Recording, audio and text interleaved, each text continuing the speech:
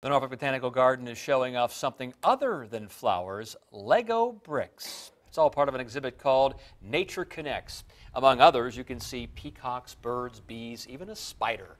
These designs took around half million bricks and countless hours to assemble. They are quite unbelievable. If you, you can read what went into building each one as you stroll through the park. It's an exhibit created by artist Sean Kenney out of New York, and they're nature inspired. And the whole theme or the um, what we want people to do is get outside and enjoy nature and connect with nature.